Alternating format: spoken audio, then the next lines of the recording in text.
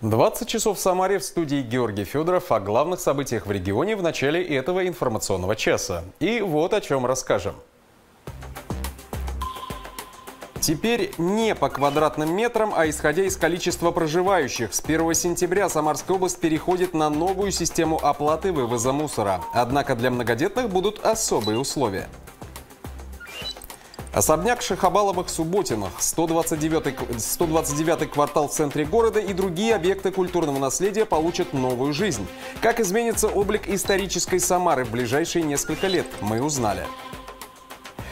Песенные и танцевальные традиции тюркских народов и атмосфера всеобщего сплочения в Самаре прошел Сабантуй, а праздники, который на этот раз имел еще и важную гуманитарную миссию, совсем скоро.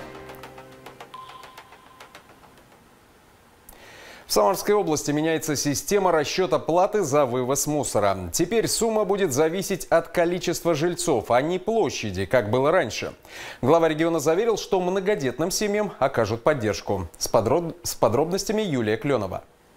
Квадратные метры больше не в счет. Оплата теперь будет начисляться по количеству жильцов. Одинокие смогут сэкономить, на многодетных семьях изменения отразиться не должны. О новой системе оплаты за обращение с твердыми коммунальными отходами объявил глава региона на оперативном совещании. Я поручаю Департаменту ценового и тарифного регулирования Самарской области разработать нормативно-правовые акты, которые устанавливают оплату услуги по обращению с ТКО на территории городских округов Самарской области в индивидуальных жилых домах на одного человека. Министерство социальной, демографической и семейной политики проработать вопрос о представлении дополнительных мер поддержки многодетным семьям по оплате услуги по обращению с ТКО.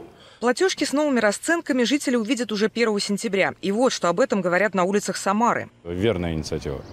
Ну, потому что на, на, на, на 500 квадратных метрах может жить один человек, правильно? Он же не намусорит, как 10, поэтому хорошая инициатива. У меня просто маленькая площадь, нас живет трое, поэтому как-то я... Для меня, наверное, и так, и так будет одинаково. Положительно. Если больше людей, больше мусора, это логично. Обращение с ТКО теперь полностью переходит в ведение Министерства природных ресурсов. Вячеслав Федорищев также объявил конкурс на должность руководителя этого ведомства. Встреча была посвящена не только мусорной реформе. На оперативном совещании обсуждались и другие насущные вопросы. Среди них оборудование официальных мест для купания. По статистике МЧС с начала года в области уже утонули 18 человек. Чаще всего трагедии происходят на необорудованных пляжах. Глава региона поручил в течение двух дней направить ему лично и в регуправление МЧС письма с объективным количеством мест, где купаются купаются жители. Вы подаете все пляжи и моментально начинаете их приводить в соответствие. Это вот в этой простой цепочке я вам сразу говорю, что не будет здесь никакой поблажки. Вот не дай бог. На тех объектах, которые вы не подадите, будет хоть одна травмоопасная ситуация, отвечать будете головой. Вячеслав Федорищев поручил профильным ведомствам совместно с Фондом защитники Отечества разобраться с выделением земельных участков ветеранам СВО. Это одна из важнейших задач, поставленных президентом России, подчеркнул в Рио губернатора. Где вы, коллеги главы, видите, что со стороны министерств конкретных недостаточно организованная работа, приходите к вышестоящему начальству. Приходите к зампредам, замгубернатору, приходите ко мне и говорите, Вячеслав Андреевич, у нас беда. У нас поручение президента важнейшее, нам нужно ребята обеспечивать земельными участками, а мы этого не можем сделать. Нет нормативки первого, второго, третьего выделения земельных участков ветеранам боевых действий, принимавших участие в специальной военной операции. Это наша святая обязанность э, ребят и их семьи обеспечивать всем-всем самым необходимым. В реальном времени на совещании разбирались жалобы жителей. Напомним, в регионе заработали пункты приема обращений в адрес главы региона. Все вопросы органы власти будут фиксировать и отрабатывать. Юлия Кленова, Татьяна Пудова, Андрей Авдеев, телеканал «Губерния». С сегодняшнего дня жители губернии могут оставлять свои обращения главе региона. Все жалобы, как ранее заявил Вячеслав Федорищев, будут обязательно отрабатываться органами власти. Отписки недопустимы. Во многих городах и районах области функцию сбора обращений взяли на себя общественные приемные и многофункциональные центры. Так, в Самаре обращения принимаются ежедневно с 9 до 18 часов по адресам, которые сейчас на экране. Пункты приема обращений граждан к главе региона также действуют в Тольятти, Сызрани, Кинеле и других городах и райцентрах области. Их адреса и телефоны можно уточнить на официальных сайтах муниципалитетов. И сейчас о проблеме, которая буквально не давала спокойно жить новосемейкинцам. Люди боялись за свою безопасность. Они регулярно слышали звуки стрельбы, а иногда, по их словам, пули попадали в заборы и даже автомобили. Все дело в полигоне неподалеку от поселка. Как решилось это противостояние между любителями пострелять и приверженцами мирной жизни? На чью сторону встала прокуратура? И какие еще темы волнуют местных жителей? Расскажут мои коллеги. Жители поселка Новосемейкино регулярно слышали эти звуки стрельбы, открывая окна. Рядом с домами располагается стрелковый клуб. Не радовали людей и пули, найденные на территории своих участков. Более того, попадали они в заборы и даже в автомобили. Благодаря э, взаимодействию с прокуратурой областной э, в прошлом году и, соответственно, с э, Департаментом общественной безопасности правительства Самарской области в течение недели мы смогли соответственно, деятельность данного полигона остановить. В настоящий момент в судебном порядке а, подтверждено а, их приостановка их деятельности. До этого люди в течение двух лет в окна в частные домовладения получали пули. О самых наболевших проблемах новосемейкинцев главе региона докладывает член регионального штаба «Народный фронт» Екатерина Гудзима и жительница поселка Екатерина Симонян. По их словам, с июля по ноябрь прошлого года в поселке отсутствовало уличное освещение из-за перекладки сетей. Но в согласованном с администрацией проекте не предусмотрели работу фонарей. Еще одна проблема – строительство вблизи поселка полигона для размещения и переработки токсичных отходов. Жители серьезно обеспокоены таким соседством и переживают за свое здоровье. К счастью, нам удается в течение года, более чем года, а, не давать возможности начать а, захоронение там нефтешлама, переработку его различными, а, различными действиями. Но э, очень хотелось бы, да, чтобы эта деятельность поддерживалась э, главой э, поселения и не ставил, соответственно, была поддержка жителям оказана. Еще один вопрос – неудовлетворительная работа управляющих и строительных компаний в поселке. По словам Екатерины Симонян, местная администрация не спешит решать эти проблемы. Вячеслав Федорищев попросил все фиксировать и направлять правоохранителям. Он добавил, что по его поручению со стороны областного правительства будет проведена служебная проверка. Если факты нарушений подтвердятся, то с нынешним руководителем поселковой администрации расстанутся.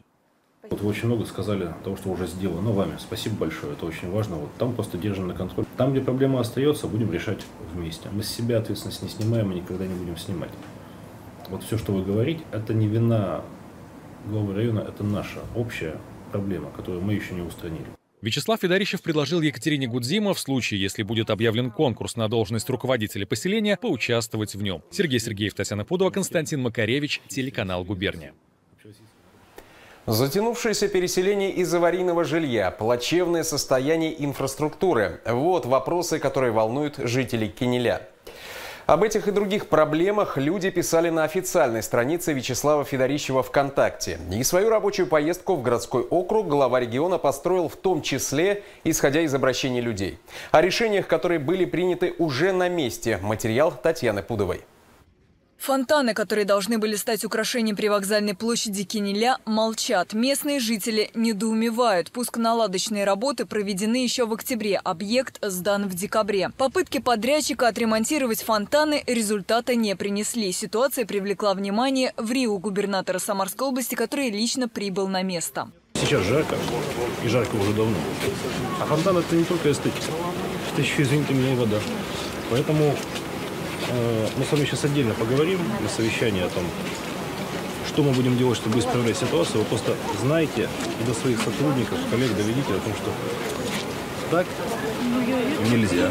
Местные жители пожаловались и на то, что ожидать общественный транспорт в этих павильонах невыносимо, особенно летом. Внутри душно, кондиционеров нет.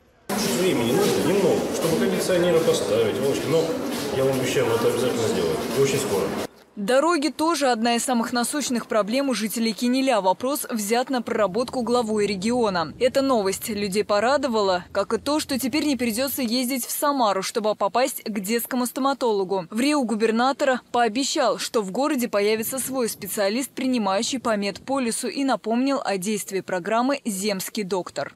Мы точно ее будем расширять, расширять так, чтобы во все места, где у нас нет специалистов, самых важных, а извините меня, детский стоматолог, самое. Вот мы эту программу обязательно сюда тоже проведем. Долгожданное событие ждет и тех, кто живет в домах, признанных аварийными. К 1 декабря запланировано завершение переселения в новый многоквартирный дом на улице 27-го партсъезда. Среди новоселов будут и дети-сироты. Глава региона проверил, как идет строительство и поручил ускорить процесс. Побывал Вячеслав Федорищев на стройплощадке еще одного дома, где муниципалитет выкупил 20 квартир для переселенцев из аварийного фонда. На момент внезапной инспекции здесь здесь не оказалось ни рабочих, ни представителей подрядчика.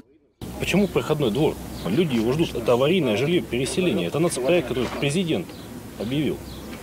Мы просто сюда зашли. Мы с вами уже 15 минут. Где охрана, где люди? Я знаю меру ответственности застройщика. Знаю меру ответственности заказчика. Знаю меру ответственности главы, который является руководителем и гарантом для людей безопасности, развития, справедливости. Так не пойдет. Итоги рабочей поездки в Кинель Вячеслав Федорищев обсудил с главой городской администрации Александром Прокудиным, предложив ему сосредоточиться на устранении болевых точек, работать над улучшением ситуации, а после перейти на новую работу. Татьяна Пудова, Андрей Авдеев, Владимир Терентьев, телеканал «Губерния». Архитектурное и историческое наследие Самары будет сохранено. Градозащитники и все, кто неравнодушен к судьбе старой городской застройки, кажется, вздохнули с облегчением. Принят ряд долгожданных ключевых решений. Впереди много работы по реставрации и восстановлению знаковых для Самары зданий. В одном из них, особняке Шихабаловых Субботины, побывала представительная делегация. Сергей Павлов расскажет подробнее. Осмотреть объект культурного наследия глава региона Вячеслав Федорищев решил на встрече с общественниками и градозащитниками по вопросам сохранения и развития исторического центра Самары. Именно они выбрали объект, который, по их мнению, требует особого внимания. Особняк, некогда принадлежавший династии Шахабаловых-Субботиных. Этой семье и этому дому, расположенному на улице Алексея Толстого, 3, телеканал «Губерния» посвятил документальный цикл «Сага о Шахабаловых». В 1877 году один из крупнейших купцов, Петр Субботин, объявил через э, федеральные СМИ, как сейчас сказали, конкурс. 16 архитекторов со всей страны принимали в нем участие, и выиграл Виктор Шреттер. Это ну, крупнейший на тот момент, наверное, мастер, который там, у него в год по 20 домов по всей, по всей стране. Один, одно из светил э, архитектурной мысли того времени. Руководитель управления госохраны объектов культурного наследия региона Иван Стафеев заметил, чтобы восстановить былую роскошь в пришедшем в упадок здании, потребуется колоссальный объем работы. Помните, я вам сказал три назад, подберите такой небольшой объект, который вот точно сделаем, такой вот, может быть, компактный, но который возьмем и сделаем. Ну, очень небольшой компактный объект. Да, объем работы здесь колоссальный. Да. Причем намечены конкретные сроки. Планируется, что уже через три года этот особняк распахнет свои двери для жителей и гостей Самары. Все необходимые документы подписаны. Очень-очень важный объект, который, по сути, несколько столетий олицетворял для многих людей архитектуру. Самая замечательная архитектура. Культуру. Здесь будет жизнь. Здесь будет жизнь, причем мы постараемся сделать так, чтобы она была в короткие сроки. Такой большой объект, серьезная реставрация, предмет очень сложный, но я думаю, что в течение трех лет мы выйдем на то, чтобы здесь этот замечательный дом, чтобы здесь была жизнь уже через три года для всех наших жителей, для всех наших гостей. В течение месяца будет подписан ряд важных документов, которые позволят постепенно восстанавливать объекты культурного наследия и придавать им новое звучание. Кроме того, глава региона подписал и постановление правительства Самарской области об историческом поселении. В его границы входит и 129-й квартал, куда также отправились градозащитники вместе с варью губернатора. Отсюда начинается знакомство гостей города со старой Самары. Но сейчас эти виды далеки от открыточных. В планах преобразить территорию, а в здешних двориках открыть музей и кофейни стилистики купеческой Самары. У каждого проекта будет свой персональный куратор. Самым большим э, проектом, который будет э, в периметре самого сложного межведомственного согласования, финансирования, э, решения тех или иных проблем, э, буду заниматься лично, действую не разрешите общественный представитель. Этим проектом куратором, куратором, давайте будем называть куратором, куратором буду лично я. Региональная власть поставила Э, охрану того наследия, которое есть в городе, в качестве одного из приоритетов. Звучит сейчас очень жесткая история про необходимость как раз на основе наследия формировать э, программу развития региона. Без наследия, без уважения к нему, без э, инвестиций в это наследие, нам очень тяжело двигаться дальше. Глава региона заявил, подобные выезды на объекты культурного наследия будут проходить каждые выходные. Это позволит держать на постоянном контроле работу по сохранению исторического облика областной столицы. Сергей Павлов, Мария Левина, Константин Макаревич, телеканал «Губерния». И еще о сохранении традиций. С большим размахом в парке Гагарина прошел Сабантуй. Красивые обычаи тюркского народа, его песни, танцы и обряды соединились на площадках. В атмосферу праздника погрузилась Екатерина Кузина.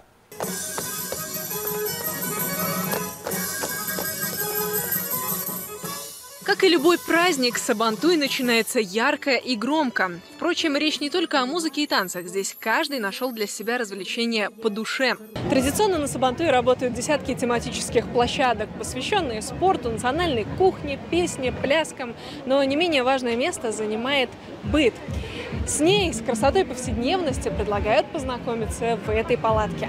Конечно же, тут представлено сундук, вышивка, роспись, это все это национальный колорит. Проводим мастер-классы по изготовлению колфак. Как э, говорят, тюбетейка украшает седину мудреца, и голову девушки. На Сабантуе традиции переплетены с реалиями сегодняшнего дня. Несколько площадок посвящены теме специальной военной операции. Одну из них открыли волонтеры из села Подбельск Похвизневского района, которые изготовили уже более двух с половиной километров маскировочных сетей. Свой вклад в помощь бойцам смогли внести все желающие. Не остался в стороне и временно исполняющий обязанности губернатора Самарской области Вячеслав Федорищев. А женщины всегда волнуются, говорят, мы нужно это делать, а вам это пригодится. И ребята говорят, вот это как раз маскировочные сети, спасает. это очень хорошо спасает э, нас, и они Спасибо. очень нужны. Время очень сложное, и мы как бы все хотели приблизить победу, помочь нашим ребятам, как можем. И мы не можем оставаться в стороне. Э, мы все для фронта, все для победы. О сплоченности говорила и глава региона, обращаясь к гостям праздника. И Сабантуй – прекрасный повод собраться всем вместе, с семьями и друзьями. Кроме того, праздник позволяет сохранять и передавать традиции. Сабантуй. Сабан-полк, туй свадьба. Я хотел бы пожелать всем нам, чтобы у нас было как можно больше свадеб. Было как можно больше детей в наших семьях. Чтобы те большие и великие цели, которые ставит наш президент Владимир Владимирович Путин, мы достигали вместе, одной большой семьей. Единство, сплоченность – это самые важные ориентиры в нашей с вами жизни. Не раз, проходя то или иное испытание, мы возвращаемся мыслями в семью, возвращаемся домой, возвращаемся мыслями к тем великим фундаментальным ценностям, которые нам давали дома. Сабантой объединил не только семьи, но и регион, целую большую многонациональную страну. В нашем Приволжском федеральном округе праздник Сабантуй отмечается во всех регионах, как и по всей стране. Отмечая данный праздник, мы показываем свою сплоченность. Сплоченность не только татарского народа, а всех народностей, которых у нас насчитывается более 140.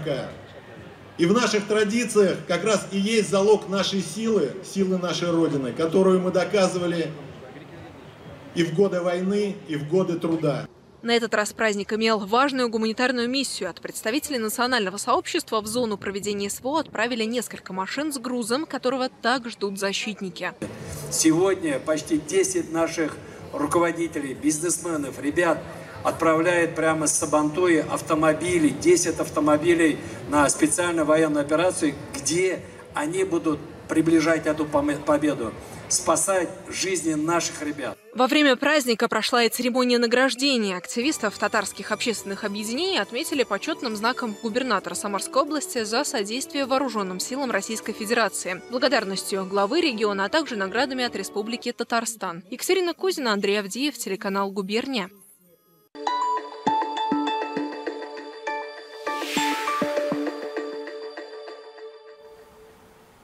Быть патриотом своей страны, помогать ей в нелегкое время и делать все для победы. В Самарской области продолжают работу мобильные пункты отбора на военную службу. Один из них разместили в парке Гагарина. Там побывала наша съемочная группа. Чем особенности военной службы по контракту? Какие воинские должности существуют? Какое денежное довольствие и льготы полагаются тем, кто отправляется за ленточку? А их семьям? Задать все интересующие вопросы можно в мобильных пунктах отбора на военную службу.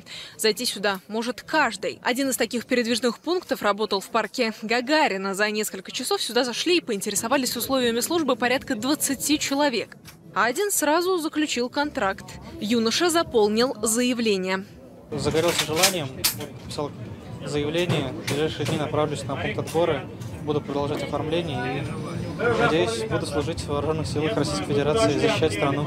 Вся семья военных, и хочу тоже сам стать, сам помочь в это нелегкое время стране, вклад внести в эту победу. Такие пункты работают в каждом муниципальном образовании. Там всегда есть инструкторы отбора, к ним можно обратиться за информацией. Они делятся своими историями и консультируют, как можно вступить в ряды вооруженных сил нашей страны. Такая работа ведется во всех муниципальных образованиях Самарской области. Конечно же, мы освещаем именно те преференции, которые у нас идут от Министерства обороны, от э, правительства Самарской области. В данном случае мы можем уже с уверенностью говорить, что у нас сейчас выплата при заключении контракта составляет 1 миллион рублей. Каждый желающий здесь также может собрать и разобрать автомат Калашникова. Особенно хорошо это получается у юноармейцев. Это юноши и девушки, которые состоят в военно-патриотическом общественном движении. Они регулярно участвуют в соревнованиях, сборах, сборах, конкурсах. Поэтому собрать и разобрать автомат для них задача совсем несложная. Нужно чтить память наших героев и уважать нашу Родину, и проявлять уважение, патриотизма, и учить будущему поколению уважать э, нашу историю. У меня за плечами уже несколько парадов победы, парадов памяти. Это очень важно, особенно в наше время. Пункт отбора на службу по контракту в Самаре работает круглосуточно по адресу улица Ленинская, 147. Обратиться туда можно и по телефону, который вы сейчас видите на экране. Екатерина Кузина, Андрей Авдеев, телеканал «Губерния». 1 миллион рублей. Такой суммы достигла единовременная выплата военнослужащим по контракту в Самарской области. При этом неважно, в каком именно населенном пункте был заключен контракт. В нее входят и федеральные, и региональные, и муниципальные выплаты. Теперь немного подробнее о цифрах. При заключении контракта положена разовая выплата 195 тысяч рублей. Это помимо ежемесячного денежного довольствия. И о нем сейчас тоже расскажем. Минимальная сумма каждый месяц 210 тысяч рублей. Зависит от воинского звания, должности и выслуги. Например, заместитель командира взвода получает от 250 тысяч рублей. Командир отделения от 238 пулеметчик от 216 тысяч рублей, гранатометчик от 211, стрелок от 210, водитель от 216 тысяч, повар от 211 тысяч рублей в месяц. Важно, что ежемесячные выплаты сохраняются за военнослужащими во время лечения, отпуска или командировки. Теперь еще немного о дополнительных выплатах. От 50 тысяч до 1 миллиона рублей можно получить за уничтожение или захват вооружения или военной техники противника. 8 тысяч рублей ежедневно за участие в активных наступательных действиях. 50 тысяч рублей за каждый километр продвижения в составе штурмовых отрядов. Более подробно узнать о правилах приема на военную службу по контракту можно в пункте отбора по адресу Самара, улица Ленинская, 147 или по номерам телефонов, которые вы видите на своем экране.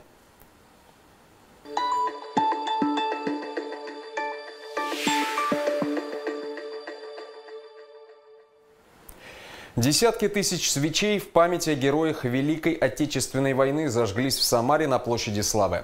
Регион принял участие в акции «Огненные картины войны». Вечером 21 июня, накануне Дня памяти и скорби, активисты движения «Волонтеры Победы» вместе с жителями областной столицы выложили из свечей изображение георгиевской ленты, журавлей, а также надпись «Самара помнит». Потому что нужно поддерживать, вспоминать эти моменты.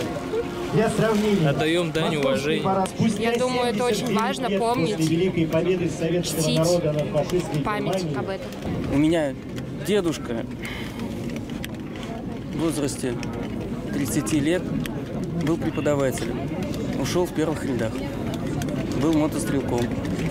Дважды был пленен и воевал до 46 -го года еще с войне с Японией. Отсидеться он не мог. Для него это было важно, поэтому и для меня это важно. Он защитил семью, родину.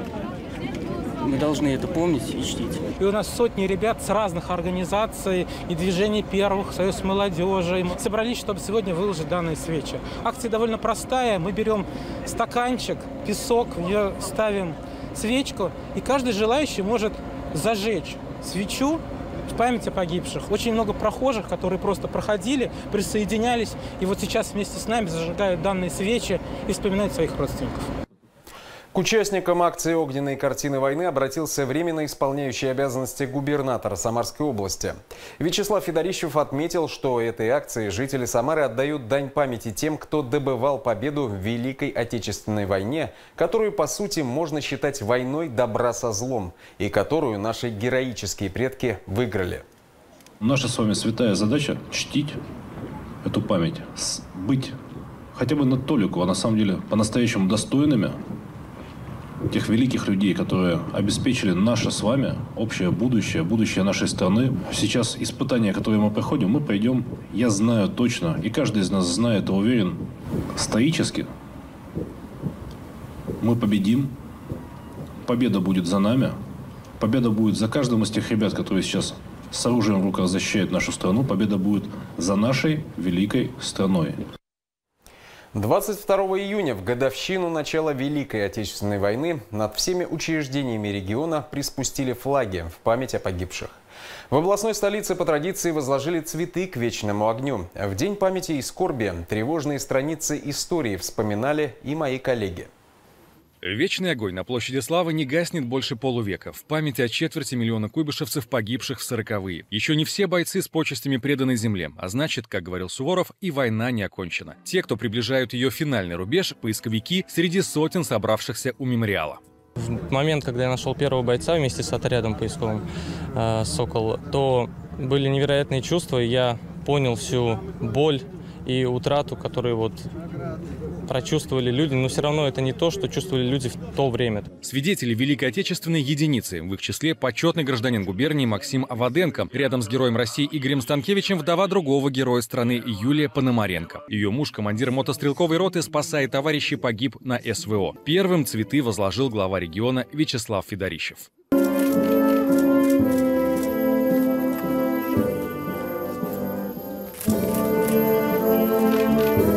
Сразу после руководитель области ответил на вопросы ветеранов. Говорили без барьеров.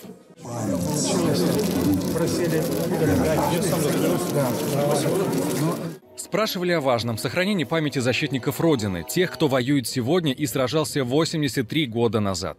Низкий им поклон Царству Небесному.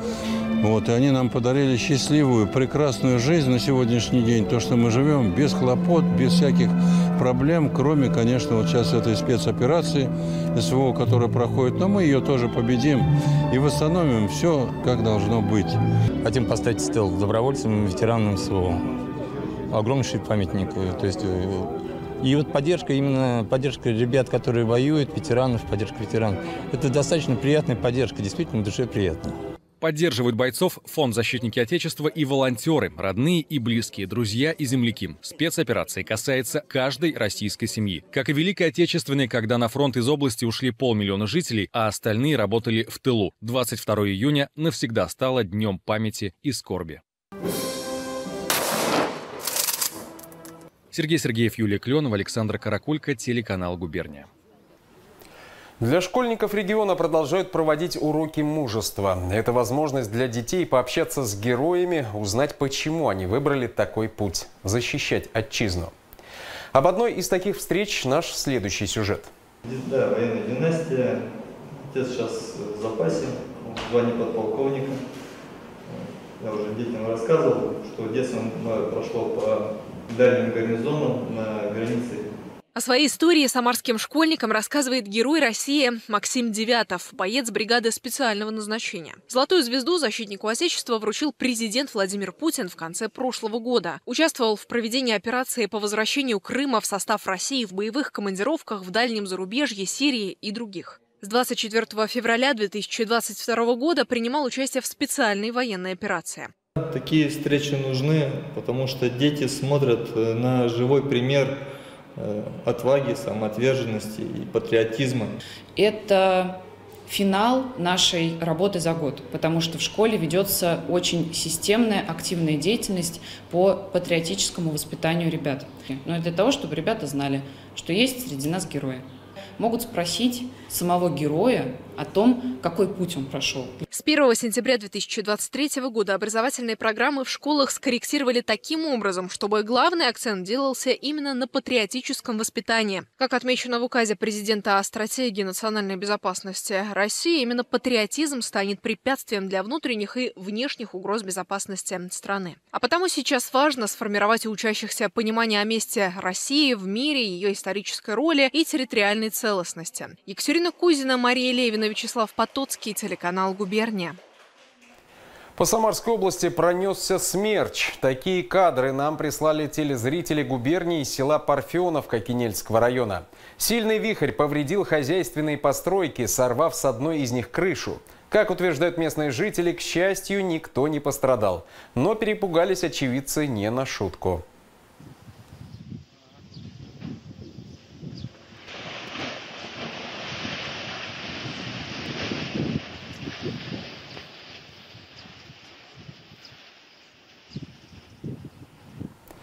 Синоптики вновь предупреждают жителей региона о сильном ветре. Сегодня вечером его порывы могут достигать 18 метров в секунду. Людей просят быть внимательными и осторожными, не укрываться и не парковать транспорт под деревьями и шаткими конструкциями.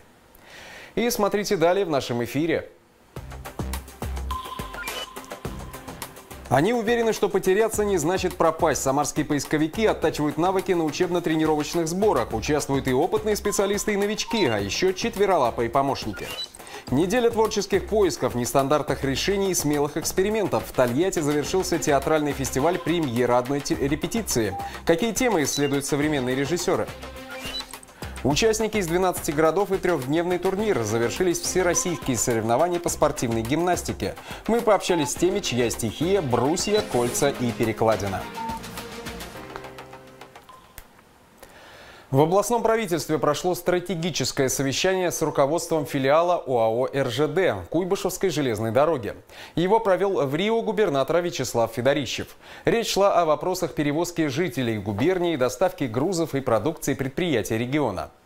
Важно соблюдать самое главное требование – это безопасность, надежность, стабильность услуги. Поговорим немножко о тарифообразовании, посмотрим, какие здесь могут быть шаги с тем, чтобы нашим предприятиям и нашим жителям услуга, которая предоставлялась, самая качественная, была доступна. Ну и, конечно, поговорим о больших социальных программах. Я знаю, какое большое внимание уделяет компания тому, чтобы реализовывались социально значимые проекты. Тесное взаимодействие с Самарской областью – это приоритет для компании, отметил в свою очередь начальник Куйбышевской железной дороги Вячеслав Дмитриев. Промышленность Самарской области – это 31% погрузки, ну и, безусловно, 60% пассажиров отправляется со станций Самарской области. Поэтому уверен о том, что мы найдем точки и определим стратегическое направление нашего взаимодействия. Билеты на поезда в Крым и Севастополь сейчас можно вернуть без оплаты дополнительных сборов. Это касается и документов до Дербента и Махачкалы. Напомню, 23 июня в ВСУ нанесли удар по гражданской инфраструктуре Севастополя. Погибли 5 человек, более 150 ранены. В городе введен режим чрезвычайной ситуации. В тот же день люди погибли в Дагестане. Это результат вооруженных нападений на два православных храма, синагогу и пост ДПС. Билеты на указанные направления в течение трех дней можно сдать в кассы дальнего следования на сайте или в официальном приложении РЖД. Сумму полностью вернут, даже если покупка была совершена по невозвратному тарифу.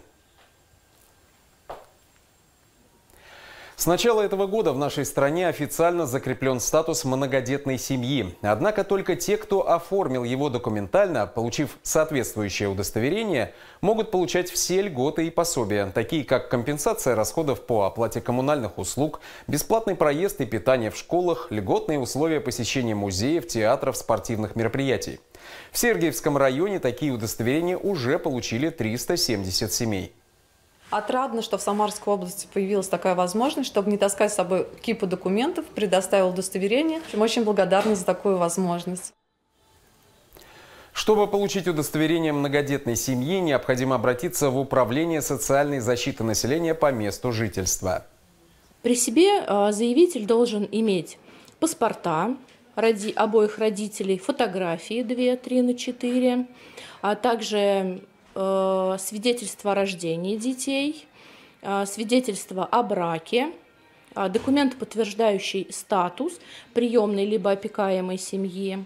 Э, в случае, если в многодетной семье воспитываются дети старше 18 лет, необходима справка с учебного заведения о том, что э, ребенок обучается очно. В Самарской области проживает более 24 тысяч многодетных семей. По линии Министерства социально-демографической и семейной политики региона им предоставляется более 20 различных мер соцподдержки.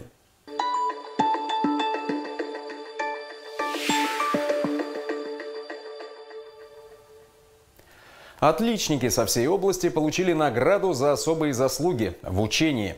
С выпускниками, окончившими 11 классов на пятерке, встретился в Рио губернатора Самарской области Вячеслав Федорищев. А тех, кто в совершенстве овладел школьной программой и стремится реализовать свои таланты, наш следующий сюжет – Арина Каюкова с раннего возраста проявляла усидчивость и любознательность. Это и привело ее к выдающимся успехам в учебе. Выпускница Толетинского лицея номер 6 отличница получила на едином госэкзамене 100 баллов по русскому языку и математике. Закончила с золотой медалью также музыкальную школу. Она кандидат в мастера по чир-спорту. Планирует поступать в сферу экономики и финансов. В областном правительстве получает свою первую в жизни госнаграду. Особое внимание и тем, кто помогал идти к первой в жизни победе. Почетные грамоты вручили родителям, маме и отцу, участнику специальной военной операции. Вдвойне радостно, что попал на такие мероприятия, когда дочь золотую медаль получила. Тут еще, может быть, и выпускной застану. Вот. Ну а потом обратно на службу. Но вот эти мероприятия дополнительных сил вам придали? Конечно, конечно. Силы придает все. И письма, и посылки, даже буквально небольшое письмо туда, как бы понимаешь, что тебя сильно любят, тебя сильно ждут. Присутствие отца сделало этот момент еще более значимым и эмоциональным для Арины. В этом году я как раз и поняла то, что самое ценное для любого человека – это его семья. Когда у тебя рядом родители, важно, вообще всех призываю, кто это увидит, оставаться благодарным своим родителям за то, что они э, воспитывают нас, за то, что они делают нас людьми, за то, что вкладывают в нас все то, что у них есть. Медали выпускникам региона за особые успехи в учении вручает тем, кто отучился на отлично в Рио губернатора Самарской области Вячеслав Федорищев. Обращаясь к ребятам, он призвал молодых людей рассмотреть возможность обучения в самарских вузах, известных своим сильным образованием. Вы действительно наша гордость. Мы вами очень гордимся. И самое главное, что мы знаем, что если вот так будете подходить к делу дальше, вы можете свернуть горы, вы можете поменять мир. И, конечно же, будьте настоящими патриотами своей страны. Церемония вручения медалей стала не только признанием достижений этих ребят, но и вдохновляющим призывом к молодым людям региона продолжать стремиться к знаниям и вносить свой вклад в развитие Самарской области. Татьяна Пудова, Владимир Терентьев, телеканал «Губерния». Первоочередные задачи, болевые точки и собственный студенческий опыт. В Рио губернатора Самарской области Вячеслав Федорищев провел встречу со студентами Саварского университета. О вопросах, которые волнуют молодежь и об их взгляде на развитие родного региона в сюжете Екатерины Кузиной. Команда небезразличных людей, которые хотят развивать родной регион. Так своих собеседников, студентов Самарского университета, назвал глава региона Вячеслав Федорищев. Он отметил, у нас есть ресурсы, бюджет, образовательные программы, но самое главное и бесценное – талантливые люди. Именно с ними важно и нужно быть в диалоге, чтобы заметно улучшить качество жизни в Самарской области. Вот вы, каждый из вас, кто принял для себя решение, будучи талантливым школьником, выпускником, поступить в родной университет – те, кто приехали к нам в гости, э, в гости и стали уже нашими жителями Самарской области. Эти люди, на которых я лично и моя команда хотели бы опираться при принятии тех или иных решений. Мы сейчас готовим большую программу развития региона. Это не бумажка ради бумажки. Мы готовим программу развития, мы хотим за полтора месяца такой вот вдумчивой работы реальный план действий для себя обозначить.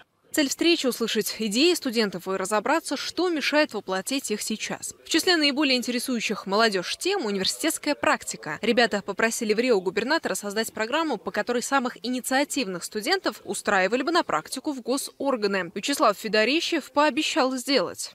Как я поняла, будет э, общий вот сбор вот этой информации о практиках, и потом уже будут распределения, как-то еще в университетах будет договариваться. Но я думаю, в будущем, э, как и первым курсом, который сейчас на второй идут, будет все решаться. Мы общаемся с человеком вживую, и у нас есть возможность какой-то коммуникации, узнать человека получше, и ну, все проблемы решаются. Еще один вопрос. Как сделать так, чтобы выпускники оставались в регионе и поступали в наши вузы? Какие программы или дополнительные выплаты для этого нужны? Какие возможные меры, которые можно предпринять в рамках бюджета региона э, или в перспективе э, в этой области? Может быть, это поддержка молодых ученых, научных кадров, которые могли бы оставаться в регионе? Я думаю, что они достаточно важны. Это получение обратной связи от подрастающего нового поколения, э, которое достаточно открыто. Это получение новых идей для правительства, для губернатора Самарской области. Следующую встречу Вячеслав Федорищев предложил студентам провести через месяц, формулировать за это время новые идеи и предложения. Екатерина Кузина, Александр Дудко, телеканал «Губерния».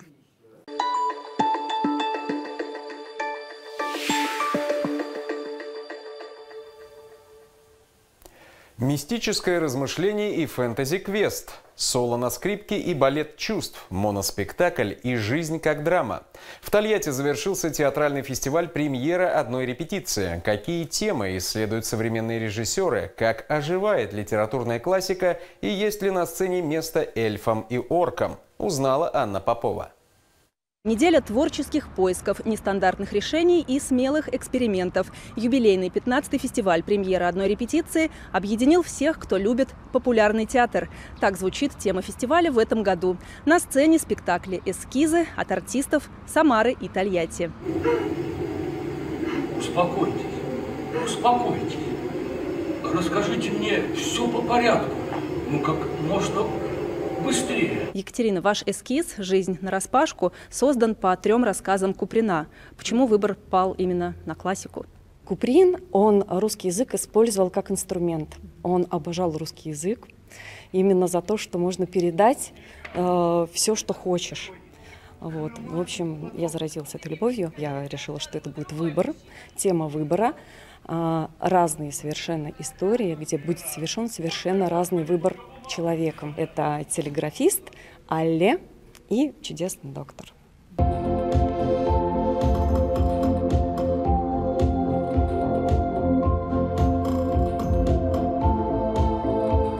Пластический спектакль, балет чувств. Что это за жанр? Все чувства, которые у нас есть, э, внутри именно, да, попробовать их все э, задействовать во время э, спектакля. И чтобы такой, скажем, внутренний балет случился этих самых чувств. Сценария пьесы у нас не было, и мы создавали все вот так вот. Просто вот сюжет шел, шел, шел, шел, шел, шел. И что из этого получилось, собственно. А потом уже э, выстраивали грамотно. Но вместе с тем тяготился теми любовными сетями, которыми она его опутала. Ему хотелось не то, чтобы выйти из них, но попробовать. Не мешают ли они его свободе? У Толстого Анна Каренина, а у вас Анна Вронская. Почему? Мне было интересно ее отношение с Вронским. Э, почему, как они жили вместе, что произошло между ними, какие у них были взаимоотношения. Она же так и не стала Вронской. То есть она так и осталась Карениной. И Почему Лев Николаевич бросил ее под поезд, тоже мне было интересно узнать, как бы загадку эту разгадать. Мы вчера залезли в батин гараж, ну и кое-чего там нашли. Фотографии, вещи всякие мамины. И видеокассету. Там мама говорит, что я какой-то особенный, что у меня есть выбор. Еще ключ. Алена, в своем эскизе вы исследуете тему взросления. Каким образом? Дети – это эльфы, а взрослые – это неизбежно превратившиеся в орков эльфы. И вот ребята у нас на пороге взросления, им по 17 лет, и главному герою 17, ему как бы предстоит вот эта история взросления, которая его пугает и тревожит, и он ищет какой-то выход, кем же ему стать, и можно ли не стать таким, как отец, а может быть и не так уж это и плохо стать таким, как отец. И вот через такие вопросы мы исследуем эту тему. Виктор, в чем особенность фестиваля именно этого года? Последние пять лет э, наш фестиваль э, существовал в формате э, российской режиссерской лаборатории, когда режиссеры со всей страны приезжали к нам и с нашими артистами за неделю делали эскизы. А сейчас мы возвращаемся к формату, в котором наш фестиваль 10 лет существовал до этого. То есть, когда все проекты фестиваля, все эскизы делаются силами нашего театра. Фестиваль премьера одной репетиции, как всегда, удивляет, вдохновляет и, конечно, ставит вопросы, на которые каждый ответит по-своему. Анна Попова, Андрей Алексеев, телеканал «Губерния». Теперь о спорте. Сделали пасмурный день жарким. В Самаре состоялся турнир по пляжному волейболу «Волга. Солнце. Молодежь». Около 150 участников со всего региона. Все они студенты. Такие соревнования в нашей области проходят впервые. Идею подали молодежные активисты партии «Единая Россия». За баталиями наблюдала Екатерина Лесная. «Волга. Солнце. Молодежь» – турнир по пляжному волейболу, который в Самарской области проводится впервые. Но несмотря на то, что похолодало, солнца сейчас не видно, жаркая атмосфера все равно создается благодаря этим ребятам. Полторы сотни участников, 25 команд. На волейбольных площадках на Красноармейском спуске набережной Волги собрались студенты вузов, техникумов и колледжей. Спорт, волейбол, ну это жизнь, это энергия, это занятие какое-то, это стимул жизни, я не знаю. Это просто хорошая игра, которая доставляет хорошее настроение. Поэтому сегодня, несмотря на эту погоду, я пришел играть в волейбол. Ни дождь, ни снег меня не остановит. Играют в формате 4 на 4. В командах и парни, и девушки, которые не уступают молодым людям в быстроте, реакции и сноровке. Играть очень круто. Парни нас уберегают. Парни очень вежливые, они нам, нам помогают. У нас никаких нет сложностей с парнями, потому что у нас все равны в команде. У нас нет как бы э, разделения на мужское и женское. То есть у нас сыгранность классная с мальчиками.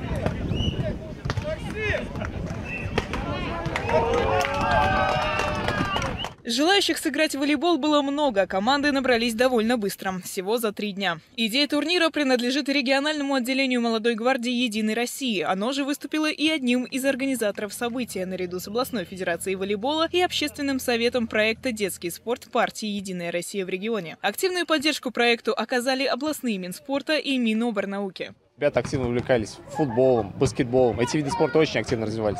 Но тут мы неожиданно нашли для себя запрос в волейболе. Хотели посмотреть какой-то необычный формат. Придумали совместно с Романом Евгеньевичем Балтером вытащить ребят из э, душных залов, когда летом ну, там не особо комфортно заниматься, на нашу любимую матушку реку Волгу. В прошлом году мы уже приняли один этап а, чемпионата ПФО по пляжному волейболу. И на самом деле молодежь – это ну, знаете, это наше будущее, которое необходимо развивать. И гораздо лучше, когда в воскресенье ребята играют в волейбол, чем занимаются, чем любят другим. По словам организаторов, соревнованием был дан мощный старт, а это значит, что такой турнир нужен и востребован среди молодежи. Планируется, что в следующем году география участников будет расширена, а само событие выйдет на уровень Приволжского федерального округа. Екатерина Лесная, Сергей Александров, телеканал «Губерния». Брусья и конь, кольца и перекладина, опорный прыжок и вольные упражнения.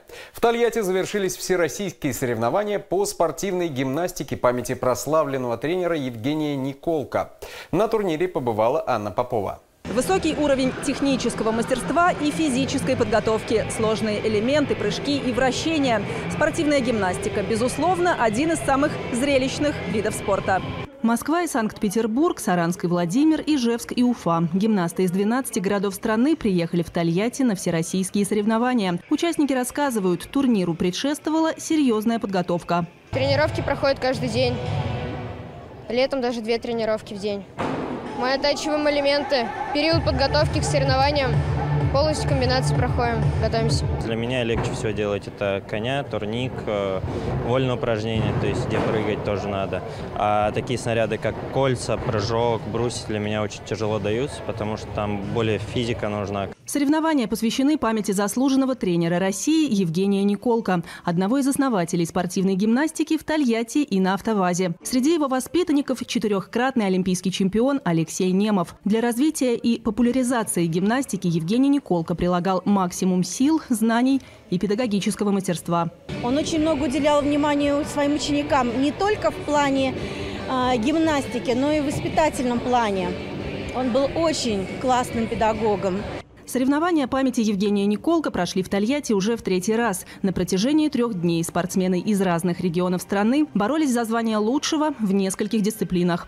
Соревнования для Тольятти очень значимы и вообще для спортивной гимнастики в целом. Мастерский турнир, посвященный великому тренеру для города, это престижный уровень соревнований. Многие гимнасты, многие тренера поддерживают этот турнир и стараются попасть на него потому что здесь, э, как бы, опять же, проверка своих сил, возможностей и результатов. Самарская область – регион с богатыми гимнастическими традициями. Здесь есть опытные тренеры, талантливые спортсмены и высокие достижения. Загораются и новые звезды. Гимнастика в регионе развивается стремительно.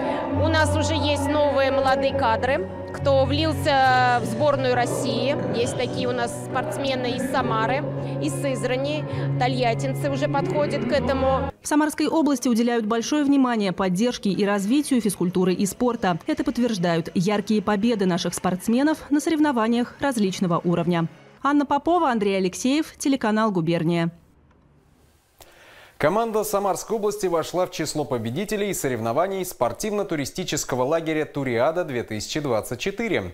В состязаниях на велосипедных, водных и пешеходных дистанциях участвовали свыше 700 человек. Это представители регионов Приволжского и Центрального федеральных округов, а также гости из Беларуси, Кыргызстана и Таджикистана. Напомню, «Туриада» уже в 11 раз собрала победителей региональных спортивно-туристских слетов, профессиональных тренеров, студентов, студентов, экспертов и волонтеров. Лагерь работал на протяжении четырех дней в Хвалынском районе Саратовской области. По сумме результатов в спортивных испытаниях команда нашего региона заняла третье место – еще одну бронзу самарцы взяли в эстафете на пешеходной дистанции.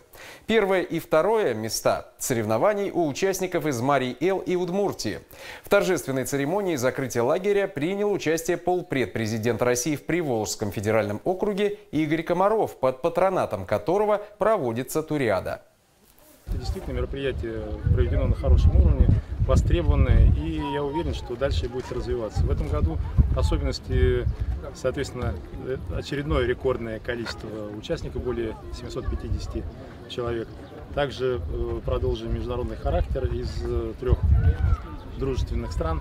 Наши коллеги, друзья приехали и участвуют. У нас впервые участвуют команды из Центрального федерального округа. И вот с ними пообщались, они сами подошли и попросили, чтобы продолжать эту, эту традицию, потому что они очень заинтересованы и в участии, и в развитии э, спортивного туризма. В учебно-оздоровительных лагерях Самарского региона в самом разгаре юноармейская смена. Участники на практике осваивают навыки, которые в течение учебного года изучали на многочисленных теоретических занятиях. Чему и как учат самарских юноармейцев летом, знает Николай Козлов. Плащ, рукава, чулки, перчатки надеть. Вот, молодец, запомнила. Плащ, рукава, чулки, перчатки надеть, газы. В летних лагерях региона в самом разгаре юноармейская смена. Под руководством опытных инструкторов подростки активно осваивают прикладные навыки, которые в наше неспокойное время могут сослужить им добрую службу. Вот сейчас они именно это хорошо и правильно воспринимают, потому что когда станут взрослее, они немножко будут по-другому это воспринимать, хотя, казалось бы, более осознанно, но сейчас именно появились те навыки когда, навыки, когда им действительно может в жизни пригодиться. Хорошо, чтобы не пригодилось, но пригодиться сможет. Если они сейчас овладеют им, им легче будет потом действовать в той или иной ситуации. Свыше двух сотен школьников из более чем десяти юноармейских отрядов областного центра занимаются тактикой, изучают особенности военного снаряжения современного воина, учатся оказывать первую помощь, ориентироваться на местности и осваивают массу других полезных премудростей. Она остановилась, сказала, держу. Твоя задача бежать, соответственно, тоже так же, метров 15-20. Самое главное, посмотрите, у вас всех товарищей пулемет, автомат должен быть таким, чтобы он пересекался твоим. То бишь у тебя должен быть вот так вот, соответственно, у тебя то же самое, понимаешь? Угу. Перекрестный, вы должны друг друга перекрывать. Подрастающее поколение обучают профессионалы высочайшего уровня. Это офицеры запаса, которые имеют определенный боевой путь, и сейчас они весь свой боевой путь, свой опыт пытаются и не пытаются, даже передают детям. Юноармейская смена длится всего 12 летних дней. За это время дети должны освоить на практических занятиях все те навыки, которые отрабатывали в теории в ходе учебного года. Николай Козлов, Сергей Александров, телеканал «Губерния». К другим темам. Потеряться не значит пропасть. Так говорят в поисково-спасательном отряде «Лиза Алерт». В этом году Самарскому областному центру поиска пропавших людей 10 лет. Юбилей отмечают на природе. В рамках проекта «Будь с нами» при поддержке Фонда президентских грантов прошли региональные учебно-тренировочные сборы. А тех, кто ищет людей. Материал Сергея Павлова. Горячий поисковый сезон, так в отряде «Лиза Алерт» называют время с начала мая до конца сентября. Люди много времени проводят на природе и порой теряются в лесу. Чтобы оказать первую помощь для новых волонтеров и уже действующих участников отряда проводят масштабные командно-штабные учения. Сначала лес прокрикивает. Если мы уверены, что человек в этом лесу, мы начинаем прочесывать. Согласно легенде, мама с ребенком приехали в национальный парк Мастрюки, пошли на прогулку, чтобы сделать зарисовки пейзажа и заблудились. Родственники обратились в полицию и в отряд Лиза Алерт. Медлить нельзя, но прежде необходимо скоординировать действия всех волонтеров, среди которых много новичков. Во-первых, я бы хотела научиться работать с компасом, потому что я не имела с ним дела еще ни разу. Вот. И хочется, конечно, поучаствовать в настоящем поиске. Учебно-тренировочные сборы – это возможность окунуться в жизнь отряда, понять, как устроена организация самих спасательных работ. Интенсивная практика в полевых условиях, приближенных к реальному поиску, где новички могут задать вопросы, запомнить основные правила и отработать все методики, включая оказание первой медицинской помощи. Опускаем на счет три. Один, два, три. Погода не самая подходящая, дождливая и ветреная. Впрочем, волонтерам работать в таких условиях привычно. Для всех, кто задействован в поисковой машине, главная награда – статус у пропавшего найден жив. Если даже не я лично его нашла, то наш отряд нашел. Это уже большая, огромнейшая победа, когда у нас статус найден жив. Мы с мужем вместе выезжаем на все поиски, которые есть у нас в городе, в соседские, в соседские города, в области. Мы ездили в Ульяновскую область и так далее. Мы не можем сидеть дома, когда мы знаем, что мы можем кому-то помочь. Да, у меня четверо детей, но они все все понимают. Даже старшие дети говорят, ну, что они хотят с нами ездить, но, к сожалению, по возрасту они пока не подходят. К поискам людей подключаются и домашние питомцы. В самарском отряде создано кинологическое направление. Самоед Ричард только начинает карьеру поисковика. Если где-то в кустах он услышит плач, стон, ну, в основном дети, идет на поиск. Учебные сборы проводятся в рамках проекта «Будь с нами», который поддержан фондом президентских грантов. Благодаря ему в арсенале поисковиков появилось много нового оборудования. Мы купили беспилотник с тепловизором, который позволяет нам искать без вести пропавших уже практически в любую погоду, в том числе и ночью. Это сильно сокращает сроки реагирования отряда на поиск без вести пропавших в природной среде и сильно облегчает эту работу, в особенности, если попадают дети. Только за прошлый год в областной поисково-спасательный отряд «Лиза Алерт» поступило более 1100 заявок на поиск пропавших. 740 человек удалось спасти. Сергей Павлов, Сергей Костин, телеканал «Губерния».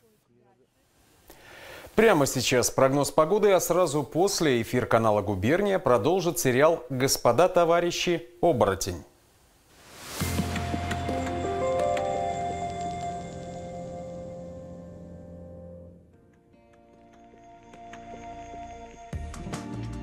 Во вторник в Самарской области по прогнозам синоптиков ожидается переменная облачность, преимущественно без осадков. Днем плюс 13, плюс 21, ночью плюс 9, плюс 14. Ветер будет дуть северо-западный со скоростью 6-11 метров в секунду. На севере и западе в дневное время плюс 13, плюс 18, на востоке и юге плюс 17, плюс 21. В Самаре облачно с прояснениями, днем плюс 16, плюс 18, ночью 13-15 градусов тепла. Атмосферная Атмосферное давление в пределах нормы 747 миллиметров ртутного столба, относительная влажность воздуха 41-69%.